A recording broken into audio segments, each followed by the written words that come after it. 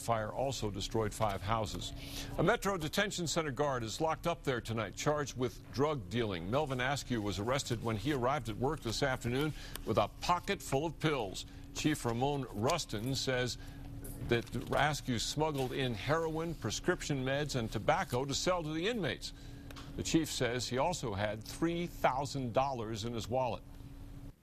I would like everybody to know that anybody that enters this institution with the idea of bringing contraband into this jail will be severely prosecuted and disciplined.